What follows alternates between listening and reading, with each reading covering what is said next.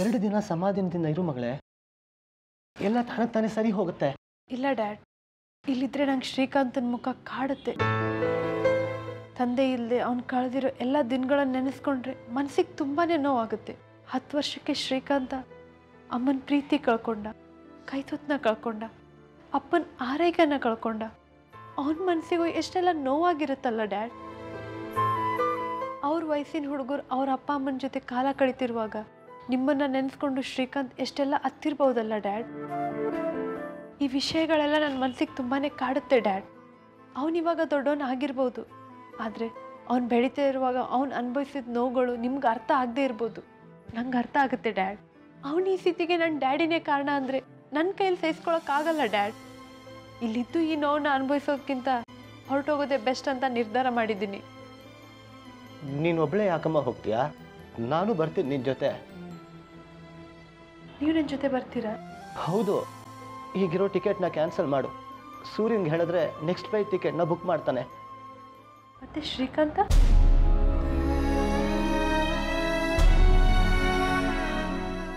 ಅವನ ಪಾಡಿಗೆ ಅವನ್ನ ಬಿಟ್ಬಿಡೋಣ. ಅವನ ಬಗ್ಗೆ ಯೋಚನೆ ಮಾಡಿ ಏನು ಪ್ರಯೋಜನ ಇಲ್ಲ. ನಿಮ್ಮಿಂದ ಅನ್ಯಾಯಕ್ಕೆ ಅವ್ನು ಬೈಕೊಳ್ತಾ ಕುಡಿದು ಕುಡಿದು ಸಾಯ್ಬೇಕಾ ಡ್ಯಾಡ್? ಅವ್ನು ಅಂದ್ಕೊಂಡ್ರೆ ನಿಮ್ಮ ಮೊದಲನೇ ಹೆಂಡತಿ ಆತ್ಮಕ್ಕೆ ಶಾಂತಿ ಸಿಗುತ್ತಾ? ಸಾಯಕ್ಕಿಂತ ಮುಂಚೆ ಆ ತಾಯಿ ನನ್ನ ಮಗ ಅನಾಥ ಆಗಲ್ಲ, ಅಪ್ಪ ಚೆನ್ನಾಗಿ ನೋಡ್ಕೊತಾರೆ ಅಂತ ಇಟ್ಕೊಂಡಿದ್ದ ನಂಬಿಕೆನ ಸುಳ್ಳು ಮಾಡ್ತೀರಾ, ಡ್ಯಾಡ್? ಅವರ ನಿಮ್ಮ ಪ್ರೀತಿಯ ಪ್ರತೀಕವಾಗಿ ಹುಟ್ಟಿರೋ ನಿಮ್ಮ ಮಗನಿಗೆ ಅನ್ಯಾಯ ಮಾಡ್ತೀರಾ? ನಿಮ್ಮ ಅವರ ಪ್ರೀತಿಗೆ ಅವಮಾನ ಮಾಡ್ತೀರಾ? ನೀನು ಹೇಳೋದು ಸರಿಮ್ಮ ನಾನು ಮನಸ್ಸು ಮಾಡಿದ್ದಿದ್ರೆ ನನ್ನ ಪ್ರೀತಿನೆಲ್ಲ ಶ್ರೀಕಾಂತ್ ಧಾರೆ ಹೆರೆದು ಅವನಿಗೆ ಒಳ್ಳೆ ಮನುಷ್ಯನಾಗಿ ಮಾಡ್ಬೋದಾಗಿತ್ತು. ಆದರೆ ನಾನು ಸ್ವಾರ್ಥಿ ಆಗ್ಬಿಟ್ಟೆ ಕಣಮ್ಮ. ಮತ್ತೊಂದು ಮದುವೆ ಆಗಿ ಅವನನ್ನು ಅನಾಥನಾಗಿ ಮಾಡಿಬಿಟ್ಟೆ. ಹೀಗೆಲ್ಲ ಆಗೋಗಿದೆ. ನಾನು ಏನು ಮಾಡಲಿ? ಆಗಿದ್ದನ್ನ ಸರಿ ಮಾಡಿ. ನನ್ನ ಡ್ಯಾಡ್ ನನಗೆ ಗ್ರೇಟ್ ಅಂತ ಅನ್ಸೋ ಹಾಗೆ ಮಾಡಿ. ಅದು ಹೇಗೆ ಸಾಧ್ಯ? ಅದು ನಿಮ್ಮ ಕೈಲಿದೆ ಡ್ಯಾಡ್. ಅವ್ನು ಕುಡ್ತಾನೆಲ್ಲ ಬಿಡಿಸಿ ಅವನನ್ನು ಒಳ್ಳೆ ದಾರಿಗೆ ತರೋದು ನಿಮ್ಮ ಕೈಲಿದೆ. ಅವನು ವಾಪಸ್ ಬರ್ದಿರೋಷ್ಟು ದೂರ ಹೋಗಿದ್ದಾನೆ. ಅವನನ್ನು ಬದಲಾಯಿಸಕ್ಕೆ ಸಾಧ್ಯ ಇಲ್ಲ. ಸಾಧ್ಯ ಇದೆ ಡ್ಯಾಡ್. ಇಷ್ಟು ವರ್ಷದಿಂದ ಅವನ ಮನಸ್ಸಲ್ಲಿ ಕಾಡ್ತಿರೋ ಒಂಟಿತನನ ದೂರ ಮಾಡಿ. ಅವನಿಗೆ ಪ್ರೀತಿ ತೋರಿಸಿ ಅವನ ಮನಸ್ಸನ್ನು ತೃಪ್ತಿಗೊಳಿಸಿ. ಅವನ ಒಳಗಡೆ ಇರೋ ನೋವನ್ನ ನೀವು ಕರ್ಗೋ ಹಾಗೆ ಮಾಡಿ. ಅವನಿಗೆ ನಿಮ್ಮೇಲಿರೋ ಕೋಪ ಸತ್ತೋಗುತ್ತೆ. ಆಗ ಅವ್ನು ಖಂಡಿತ ಬದಲಾಗ್ತಾನೆ ಡ್ಯಾಡ್. ಇದೆಲ್ಲ ಸಾಧ್ಯನೇನಮ್ಮ? ಖಂಡಿತ ಸಾಧ್ಯ ಇದೆ ಡ್ಯಾಡ್. ಅನಾಥ ಪ್ರಜ್ಞೆ ಎಷ್ಟು ಘೋರ ಅಂತ ನನಗೆ ಗೊತ್ತು. ಈ ಹಿಂದೆ ಅದ್ರ ಮೇಲೆ ಬುಕ್ ಬರೆದಿದ್ದೀನಿ. ಈ ಹಿಂದೆ ಎಷ್ಟೋ ತಂದೆ ತಾಯಿ ಇಲ್ಲೇ ಇರೋ ಮಕ್ಕಳನ್ನ ತಂದೆ ತಾಯಿ ಇದ್ದು ದೂರ ಆಗಿರೋ ಮಕ್ಕಳನ್ನ ನಾನು ಮಾತಾಡ್ಸಿದ್ದೀನಿ. ಆ ನೋವು ಏನಂತ ನನಗೆ ಗೊತ್ತಿದೆ. ಆ ಮಕ್ಕಳು ತಂದೆ ತಾಯಿ ಇಲ್ಲೇ ಎಷ್ಟು ಕೊರಗ್ತಾ ಇರ್ತಾರೆ ಮನಸ್ಸಲ್ಲಿ ಹಿಂಸೆನ ಅನುಭವಿಸ್ತಿರ್ತಾರೆ. ಶ್ರೀಕಾಂತನು ಅಂಥವ್ರಲ್ಲೊಬ್ಬ, ಅವನ ಶಾಪ ನಿಮಗೆ ತಟ್ಟಬಾರ್ದು ಅಂದರೆ ಅವನನ್ನು ಬದಲಾಯಿಸಿ. ಅಲ್ಲಿವರೆಗೂ ಅಮೆರಿಕಕ್ಕೆ ಬರಬೇಡಿ. ನೀನು ಹೇಳೋದು ಸರಿಮಾ? ಶ್ರೀಕಾಂತನ ಬಗ್ಗೆ ನಿಂಗೆಲ್ಲ ಗೊತ್ತಾದ್ಮೇಲೆ ನಿನ್ನ ಮನಸ್ಸಿನಲ್ಲಿ ನನ್ನ ಬಗ್ಗೆ ಏನು ಭಾವನೆ ಮೂಡಿದೆ ಅಂತ ನನಗೆ ಈಗ ಗೊತ್ತಾಯಿತು. ಆ ಭಾವನೆಯನ್ನು ಹೋಗಲಾಡಿಸೋ ಪ್ರಯತ್ನ ನಾನು ಮಾಡ್ತೀನಿ.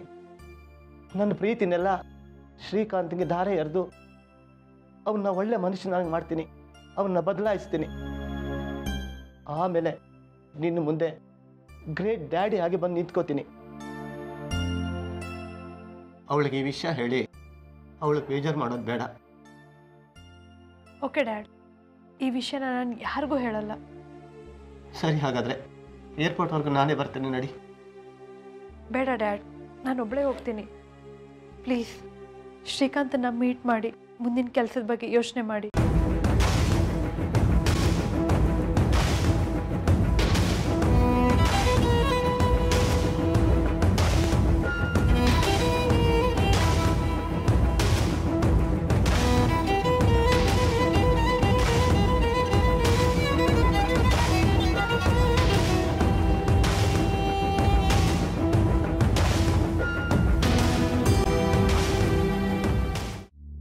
ಮಕ್ಕಳ ಗೊತ್ತಿಲ್ಲ ಅಂದ್ರೆ ಅಷ್ಟೊಂದು ದುಡ್ಡಿರೋ ಬ್ಯಾಗ್ ಮೇಲಿಂದ ಉದುರ್ತಾನೋ ನಿನ್ನೆ ನನ್ನ ಆಫೀಸಿಗೆ ಯಾರು ಬಂದ್ರು ಯಾರು ಹೋದ್ರು ಅಂತ ನನಗೆ ಗೊತ್ತಾಗಬೇಕು.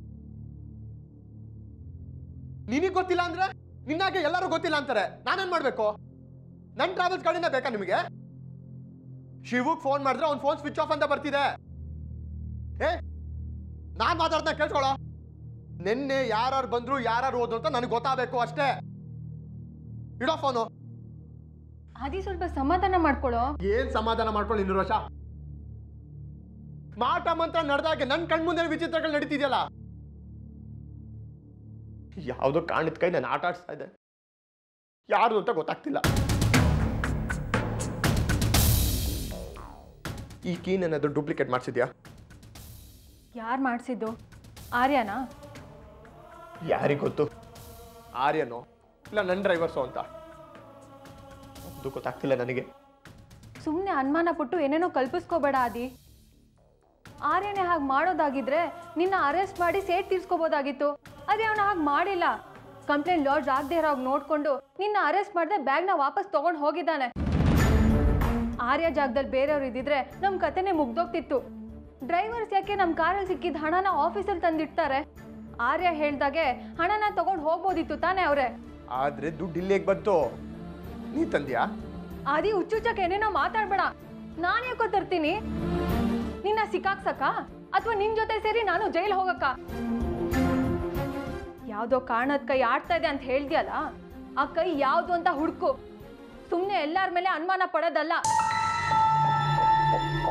ತುಂಬಾ ನಿರಾಸೆ ಆಗ್ತಿದೆ ನಿರೋಷ. ಪ್ರತಿ ಸಲ ಸೋಲ್ತಾ ಇದ್ದೀನಿ ನಾನು. ಕಾರಣದ ಕೈ ಯಾರ್ದಾದ್ರೂ ಆಗಿರ್ಲಪ್ಪ.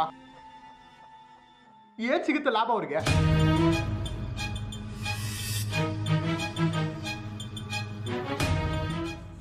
ನಿಮ್ ತಂದೆ ಏನಾದರೂ ಪ್ಲೇ ಮಾಡ್ತಿರ್ಬೋದಾ?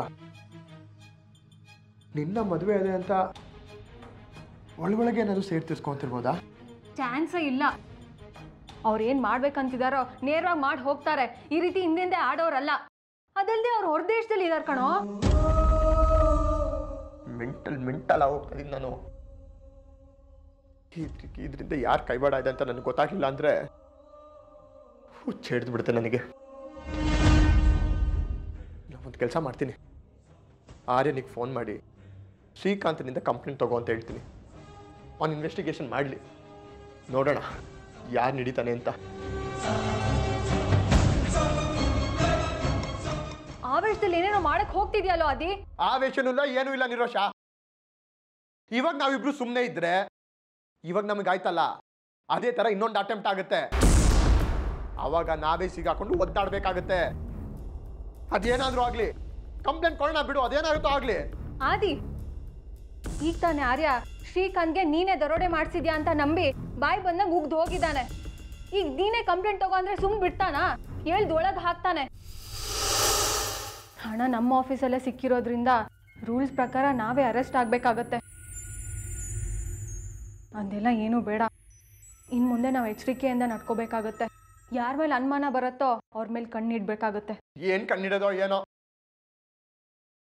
ಆರ್ಯನ್ ಮುಂದೆ ತಲೆ ತಗ್ಸೋಂಗಾಯ್ತು. ಈ ವಿಚಾರ ಏನಾದ್ರೂ ಮನೇಲಿ ಗೊತ್ತಾದ್ರೆ ದೊಡ್ಡ ಚಂಡಮಾರುತನೇ ಬೀಸುತ್ತೆ. ಅಮ್ಮನಿಂದ ಚೆನ್ನಾಗಿ ಉಗಿಸ್ಕೋಬೇಕಾಗತ್ತಷ್ಟೇ. ಮನೇಲಿ ಯಾರಿಗೂ ಹೇಳೋದು ಬೇಡ ಅಂತ ಆರ್ಯ ಹತ್ರ ಹೇಳ್ಬಿಡು. ಹಾಗೇನಾದರೂ ಹೇಳಿದ್ರೆ ನಾನೇ ತಪ್ಪು ಒಪ್ಕೊಂಡಾಗತ್ತೆ ನಾನೇನು ತಪ್ಪು ಮಾಡಿಲ್ಲ. ಆರ್ಯ ಬಂದು ಯಾರ ಮುಂದೆ ಆದರೂ ಹೇಳಿ, ಏನಾದರೂ ಮಾಡ್ಕೊಳ್ಳಿ ನನ್ನ ನಂಬೋರು ನಂಬಿ, ಬಿಡೋರು ಬಿಡಲಿ. ಅಷ್ಟಕ್ಕೂ ನಾನು ಅವನಿಗೆ ಹೇಳಿದ್ರೆ, ಅವನೇ ನನ್ನ ಮಾತು ಕೇಳ್ತಾನ. ಆಲ್ರೆಡಿ ಮನೇಲಿ ವಿಷಯ ತಿಳಿಸಿ ಲೆವೆಲ್ ಹಾಕೊಬೇಕು ಅಂತ ಯೋಚನೆ ಮಾಡಿದಾನ ಅವನು. ನನ್ನ ಮಾತಲ್ಲಿ ಕೇಳ್ತಾನೆ, ಹೇಳೇ ಹೇಳ್ತಾನೆ ಅವನು.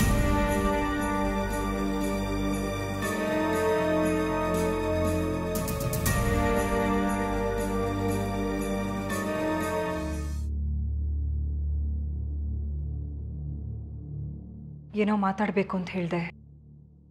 ಏನು ವಿಷಯ?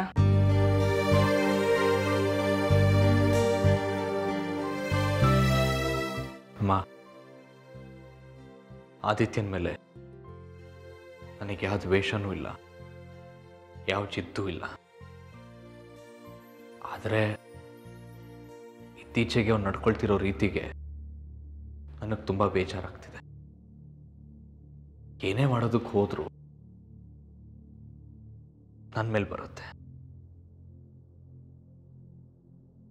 ಎಲ್ಲ ಕಡೆಯಿಂದ ನಾನು ಟಾರ್ಗೆಟ್ ಆಗ್ತೀನಿ. ಎಲ್ಲನೂ ನಾನೇ ಬೇಕು ಅಂತ ಮಾಡ್ತಿದ್ದೀನಿ ಅನ್ನೋ ಥರ ಆದಿತ್ಯ ನನ್ನ ಕಡೆ ಬೆಟ್ ಮಾಡ್ತಾನೆ. ಅದು ಏನು ಮಾಡ್ದ? ಇವತ್ತು ಮಾಡಿರೋ ಕೆಲಸಕ್ಕೆ ಅವನು ಜೈಲ್ ಪಾಲಾಗಬೇಕಿತ್ತು. ಏನು ಹೇಳ್ತಾ ಇದೆಯಾ? ವಿಷಯ ನಿಮ್ಗೆ ಹೇಳಬಾರ್ದು ಅಂದ್ಕೊಂಡಿದ್ದೆ ಆದರೆ ಆದಿತ್ಯ ಪದೇ ಪದೇ ಈ ತಪ್ಪು ಮಾಡ್ತಿದ್ರೆ ನನ್ನ ಕೈಲಿ ಸಹಿಸ್ಕೊಳಕ್ಕಾಗ್ತಿಲ್ಲ ಪ್ರತಿ ಸಲ ಅವನ್ನ ಕಾಪಾಡೋದಕ್ಕಾಗಲ್ಲಮ್ಮ ಮತ್ತೆ ಇದು ರಿಪೀಟ್ ಆಗಬಾರ್ದು. ಅದಕ್ಕೆ ನಿಮ್ಗೆ ಹೇಳ್ತಾ ಇದ್ದೀನಿ. ಅದೇನು ಅಂತ ಹೇಳು. ನೀನು ಹೇಳ್ತಾ ಇರೋದು ನೋಡಿದ್ರೆ ನನಗೆ ಗಾಬರಿ ಆಗ್ತಾ ಇದೆ. ರೇವಣ್ಣ ಅವ್ರಿಗೆ ಅಪ್ಪ ಅವ್ರ ಮಗಂಗೆ ದುಡ್ಡು ಕೊಡಿ ಅಂತ ಹತ್ತು ಲಕ್ಷ ರೂಪಾಯಿ ಕೊಟ್ಟಿದ್ರು. ಈ ವಿಚಾರ ಮನೇಲಿ ಯಾರಿಗೂ ಗೊತ್ತಿಲ್ಲ ಅನ್ಸುತ್ತೆ. ನನಗೂ ಗೊತ್ತಿರಲಿಲ್ಲ. ನಿಮಗೂ ಗೊತ್ತಿಲ್ಲ ಅಂತ ತಿಳಿತೀನಿ. ಆದರೆ ಅವ್ರ ಮಗ ಶ್ರೀಕಾಂತ್ಗೆ ದುಡ್ಡು ಕೊಡ್ತಿದ್ದ ಹಾಗೆ ನಾಲ್ಕು ಜನ ದಾಂಡಿಗರು ಆ ದುಡ್ಡನ್ನು ದರೋಡೆ ಮಾಡ್ಕೊಂಡು ಹೋದ್ರು. ದರೋಡೆ ಮಾಡಿದ್ರ? ಹೌದಮ್ಮ. ಶ್ರೀಕಾಂತ್ ಗಾಬರಿಯಿಂದ ಸ್ಟೇಷನ್ಗೆ ಬಂದು ಕಂಪ್ಲೇಂಟ್ ಕೊಟ್ಟ. ಆ ನಾಲ್ಕು ಜನ ದಾಂಡಿಗರು ಬಂದಿದ್ದು ಆರ್ತಿ ಟ್ರಾವೆಲ್ಸ್ ಕಾರಲ್ಲಂತೆ.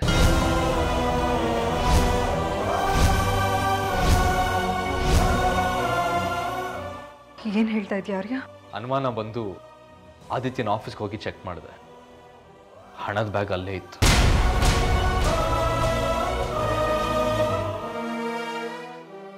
ಏನೋ ನಿನ್ನ ಮಾತಿನ ಅರ್ಥ? ನಡೆದಿರೋದನ್ನೇ ಹೇಳ್ತಾ ಇದ್ದೀನಮ್ಮ ಅಂದರೆ ಆದಿತ್ಯ ದರೋಡೆ ಮಾಡಿಸಿದ್ದಾನೆ ಅಂತನ? ನಿಮಗೆ ಹೇಳಿದ್ರೆ ನೊಂದ್ಕೊಳ್ತೀರಾ? ಆದರೆ ನಿಮ್ಮ ಮಗ ನೋಡಿ ಹಣದ ಆಸೆಗೋಸ್ಕರ ಎಂಥ ಕೆಲಸ ಮಾಡಿದ್ದಾನೆ? ನಾನು ವಿಚಾರಿಸ್ತೀನಿ. ಅಮ್ಮ ಬೇಡ. ನೀವು ಹೇಳಿದ ತಕ್ಷಣ ಅವ್ನು ನಿಮ್ಮ ಮಾತು ಕೇಳ್ತಾನೆ ಅನ್ಕೊಂಡ್ರ. ಹೇಗೋ ಈ ಬ್ಯಾಗ್ ನಿಮ್ಮ ರೂಮಿಗೆ ಬಂತು ಅಂತ ಕೇಳಿದ್ರೆ ಬಾಯಿ ಬಂದಾಗ ವಾದ ಮಾಡ್ತಾನೆ. ನನಗೇನು ಗೊತ್ತು ಅಂತ. ನನಗೋ ಪೊಲೀಸ್ ಆಫೀಸರ್ ನನ್ನ ಮುಂದೆ ರೆಡ್ ಹ್ಯಾಂಡಾಗಿ ಸಿಕ್ಕಾಕೊಂಡಿದ್ದಾನೆ. ಅರೆಸ್ಟ್ ಮಾಡಿ ಹೇಳ್ಕೊಂಡು ಹೋಗ್ಬೇಕಿತ್ತು.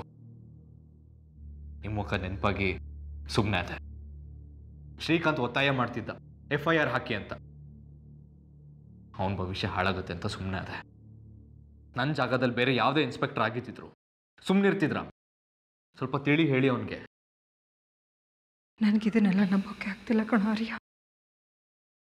ಅದೇ ಹೀಗೆಲ್ಲ ಮಾಡ್ತಾನೆ ಅಂತ. ಯಾಕೆ ಮಾಡಲ್ಲ? ಆಗ ಆಟೋ ಓಡಿಸ್ಕೊಂಡು ಸಣ್ಣ ಪುಟ್ಟ ದುಡಿಮೆ ಇರ್ತಿತ್ತು. ಸಣ್ಣ ಪುಟ್ಟ ಖರ್ಚಿರ್ತಿತ್ತು. ಈಗ ಒಂದು ಟ್ರಾವೆಲ್ಸ್ ಓನರ್. ತುಂಬ ಸಾಲ ಮಾಡ್ಕೊಂಡಿದ್ದಾನೆ ಬೇರೆ. ದುಡ್ಡಿನ ಆಸೆಗೆ ಈ ಥರ ಕನಂದರಿ ಕೆಲಸ ಮಾಡಿದಾನು. ಇಲ್ಲ ಕಣು. ಅವನು ಆ ರೀತಿ ಎಲ್ಲ ಮಾಡೋನಲ್ಲ. ತಪ್ಪು ಮಾಡಿದ್ರೆ ಇರ್ಬೋದು. ಮತ್ತೆ? ಆ ಬ್ಯಾಗ್ ಅಲ್ಲಿಗೆ ಹೇಗೆ ಬಂತು? ಆಫೀಸ್ ಬೀಗದ ಕೈ ಅವನ ಹತ್ರನೇ ಇದೆ ತಾನೆ. ದಿನ ಬೆಳಿಗಾದ್ರೆ ಆಫೀಸ್ ತೆಗಿಯೋದು ಅವನೇ. ಸಂಜೆ ಆದರೆ ಮುಚ್ಚೋದು ಅವನೇ. ಯಾರು ಅವನ ಪರ್ಮಿಷನ್ ಇಲ್ಲದೆ ಆಫೀಸ್ಗೆ ಎಂಟ್ರಿ ಹಾಕಲ್ಲ.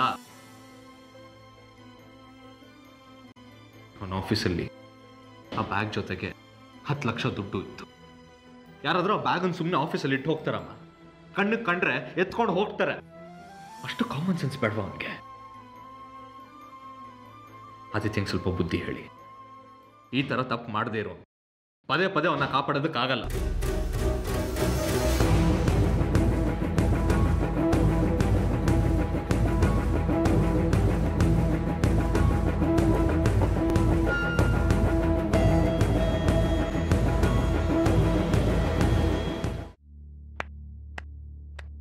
ಕಂಗ್ರ್ಯಾಚುಲೇಷನ್ಸ್ ಅರ್ಪಿತಾ. ವಾಟ್ ಕಂಗ್ರ್ಯಾಚುಲೇಷನ್ಸಾ ಯಾಕೆ?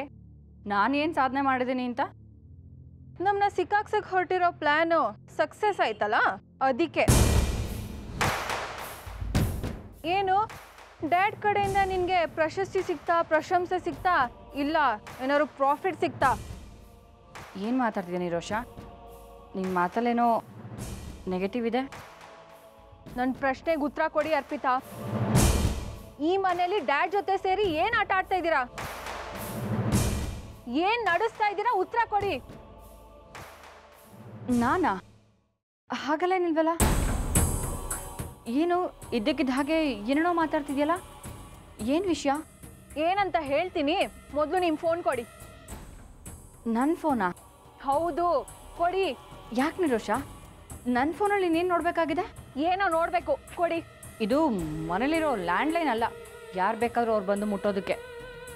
ಮೊಬೈಲ್ ಅವ್ರವ್ರ ಪರ್ಸ್ನಲ್ ಅವ್ರವರೇ ಆ ಮೊಬೈಲ್ನ ಹ್ಯಾಂಡಲ್ ಮಾಡಬೇಕು.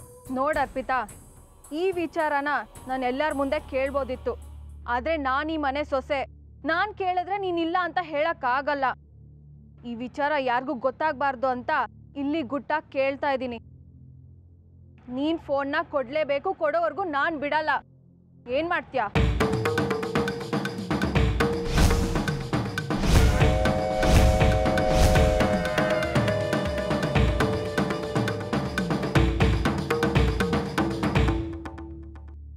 ಪಾಸ್ವರ್ಡ್ ಹೇಳಿ. ಹೇಳ್ತೀನಿ.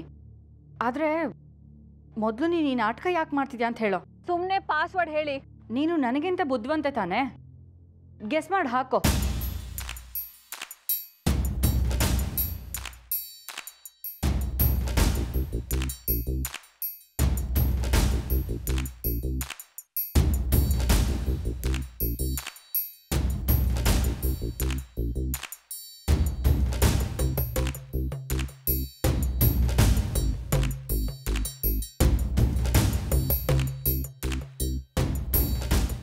ನಾನು ನಿಮ್ಗಿಂತ ಬುದ್ಧಿವಂತೆ.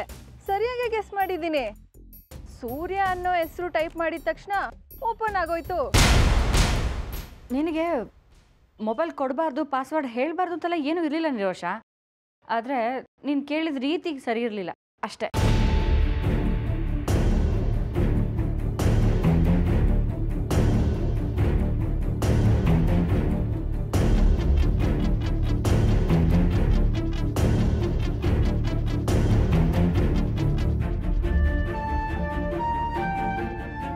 ನಿರೋಷ, ನಿಂಗೆ ಬೇಕಾಗಿರೋದೆಲ್ಲ ಸಿಕ್ತಾ ಇಲ್ಲ ಈಗಲಾದರೂ ವಿಷಯ ಏನು ಅಂತ ಹೇಳ್ಬೋದಲ್ವಾ? ಇದ್ದಕ್ಕಿದ್ದಾಗೆ ಆರ್ಯ ನಮ್ಮ ಟ್ರಾವೆಲ್ಸ್ ಆಫೀಸಿಗೆ ಬಂದಿದ್ದ. ಆಫೀಸ್ ಒಳಗೆ ಹತ್ತು ಲಕ್ಷ ದುಡ್ಡಿರೋ ಬ್ಯಾಗ್ ಸಿಕ್ತು. ಏನು? ಹತ್ತು ಲಕ್ಷ ಇರೋ ಬ್ಯಾಗ? ಹೌದು, ಆ ಬ್ಯಾಗ್ ನಮ್ಮ ಆಫೀಸಿಗೆ ಹೇಗ್ ಬಂತು ಅಂತ ಗೊತ್ತೇ ಆಗ್ಲಿಲ್ಲ. ರೇವಣ್ಣ ಅವ್ರ ಮಗಂಗ ದುಡ್ಡು ಕೊಟ್ಟಿದ್ರಂತೆ. ಆಗ ದಾರಿಲಿ ಹೋಗ್ತಾ ದರೋಡೆ ಆಯ್ತಂತೆ. ದರೋಡೆ ಮಾಡಿದವರು ನಮ್ ಟ್ರಾವೆಲ್ಸ್ ಗಾಡಿಲೇ ಬಂದ್ರಂತೆ. ಅದನ್ನ ವಿಚಾರ್ಸಕ್ಕೆ ಆರ್ಯ ನಮ್ಮ ಆಫೀಸಿಗೆ ಬಂದಿದ್ದ. ಅವ್ನು ಬಂದ್ಮೇಲೆ ಗೊತ್ತಾಗಿದ್ದು ನಮ್ಮ ಆಫೀಸಲ್ಲಿ ಹತ್ತು ಲಕ್ಷ ಹಣ ಇದೆ ಅಂತ. ಓ ಆರ್ಯ ಇನ್ನು ನಿಮ್ಮನ್ನ ಕಾಡೋದು ಬಿಟ್ಟಿಲ್ವಾ? ಪಾಪ. ನೋಡು ಹೇಗೆ ಸಿಕ್ಕಾಕಿಸ್ತಾನೆ ಅಂತ ನಿಮ್ಮನ್ನ. ಇಲ್ಲ ಚಾನ್ಸೇ ಇಲ್ಲ. ಈ ದೌನ್ನ ಬಿಟ್ಟು ಬೇರೆ ಯಾರೋ ಮಾಡ್ತಿರೋ ಕೆಲಸ. ನಾನೇ ಮಾಡಿರ್ಬೋದು ಅಂತ ನೇರವಾಗಿ ಕೇಳು. ಯಾಕೆ ಸುತ್ತಿ ಬಳಸಿ ಮಾತಾಡ್ತೀಯ? ನೀವೇ ಯಾಕೆ ಮಾಡಿಸಿರ್ಬಾರ್ದು? ಏನು? ನಾನಾ? ಅಲ್ಲ ನಿರೋಷ, ನಾನು ನಿಮ್ಮ ಟ್ರಾವೆಲ್ಸ್ಗೆ ಬಂದಿಲ್ಲ. ನಿಮ್ಮವ್ರು ಯಾರು ನನಗೆ ಗೊತ್ತಿಲ್ಲ. ನಾನು ಯಾಕೆ ಅಲ್ಲಿ ಬರಲಿ? ಅದು ಅಲ್ಲದೆ ರೇವಣ್ಣನ ಮಗ ಇರೋ ವಿಷಯನೇ ನನಗೆ ಗೊತ್ತಿಲ್ಲ ಅಂತೀನಿ. ಇನ್ನು ಅವ್ರವ್ರ ಮಗಂಗೆ ಹತ್ತು ಲಕ್ಷ ಕೊಡೋ ವಿಷಯ ನನಗೆ ಹೇಗೆ ಗೊತ್ತಾಗುತ್ತೆ? ನಾನು ಯಾಕೆ ಅದನ್ನು ಹೊಡಿಲಿ? ನಿನ್ನನ್ನು ತುಂಬ ಬುದ್ಧಿವಂತೆ ಅಂತ ಅಂದ್ಕೊಂಡಿದ್ದೆ ಆದರೆ ಇಷ್ಟು ದಡ್ಡಿ ಅಂತ ಗೊತ್ತಿರಲಿಲ್ಲ. ಅಲ್ಲ ನಿರೋಷ ನಿಮಗೆ ಈ ಥರ ಒಂದು ಪ್ರಾಬ್ಲಮ್ ಇದೆ ಅಂತ ನಂಗೆ ಹೇಳಿದ್ದಿದ್ರೆ ನಾನೇ ಸಾಲ್ವ್ ಮಾಡ್ತಿದ್ದೆ ಅಲ್ವಾ? ಯಾರಂತ ಕೆಲಸ ಮಾಡಿದ್ರು ಅಂತ ಕಂಡುಹಿಡಿಯೋದಕ್ಕೆ ನಾನೇ ನಿಂಗೆ ಸಹಾಯ ಮಾಡ್ತಿದ್ದೆ?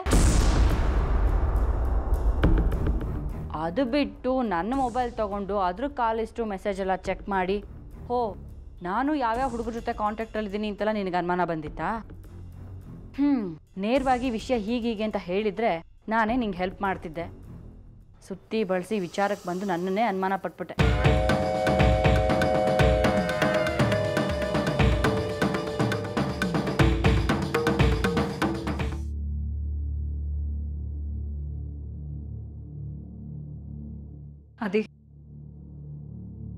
ರೇವಣ್ಣ ಅವ್ರ ಮಗಂಗೆ ಹತ್ತು ಲಕ್ಷ ಕೊಟ್ಟಿದ್ರಂತೆ. ಆ ಹಣ ದರೋಡೆಯಾಗಿ ನಿನ್ನ ಆಫೀಸಲ್ಲಿ ಸಿಕ್ಕಿದೆ. ಏನು ಹೇಳ್ತೀಯಾ? ಆರೇ ಬಂದು ಫಿಟ್ಟಿಂಗ್ ಇಟ್ನ? ನನಗೆ ಗೊತ್ತಿತ್ತಮ್ಮ. ಆರ್ಯ ಮನೆಗೆ ಬಂದು ಮಾಡೋ ಮೊದಲೇ ಕೆಲಸನೇ ನನ್ನ ಮೇಲೆ ಆಪಾದನೆ ಮಾಡೋದು ಅಂತ. ನನ್ನ ಮೇಲೆ ಆಪಾದನೆ ಮಾಡದೇ ಇದ್ರೆ ತಿಂದಿದ್ದೆಲ್ಲ ಅರ್ಗತ್ತೆ ಅವನಿಗೆ. ಅವನನ್ನ ಯಾಕೋ ಬೈತ್ಯಾ?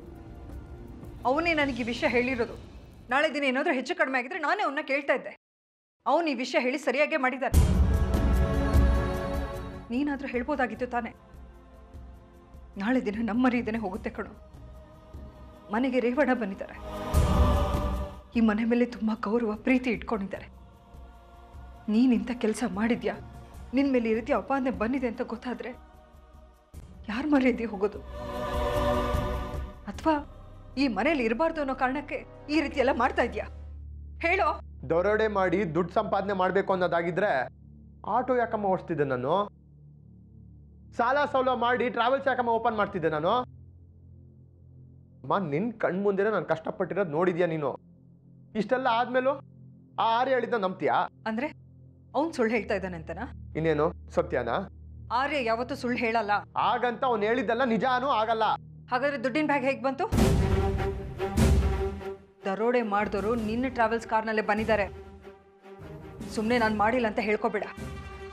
ಏನು ನಡೆದಿದೆ ಅನ್ನೋದು ಸರಿಯಾಗಿ ಹೇಳು. ಉತ್ತರ ಕೊಡು. ಅಮ್ಮ, ನಾನು ದರೋಡೆ ಮಾಡಿಲ್ಲ. ಹಾಗಂತ ನೀನು ಕೇಳೋ ಪ್ರಶ್ನೆಗಳಿಗೆ ಉತ್ತರನೂ ಕೊಡೋಕ್ಕಾಗಲ್ಲ. ನಿನ್ನ ಪ್ರಶ್ನೆಗಳಿಗೆ ಉತ್ತರ ಕೊಟ್ಟು ನಾನು ನಿರಪರಾಧಿ ಅಂತ ಪ್ರೂವ್ ಮಾಡೋ ಅವಶ್ಯಕತೆ ನನಗಿಲ್ಲ. ನಿನ್ನ ಹಾಗೆ ನಾನು ಕಂಗಲಾಗಿದ್ದೀನಿ. ಯಾರು ಈ ಕೆಲಸ ಮಾಡಿದೆ ಅಂತ ನನಗೂ ಯೋಚನೆ ಆಗಿದೆ. ಅಮ್ಮ, ನೀನು ನನ್ನ ಮೇಲೆ ಅನುಮಾನ ಪಟ್ಟರೆ ಅದು ನನ್ನ ಕೈಲಿ ತಡ್ಕೊಳಕ್ಕಾಗಲ್ಲ.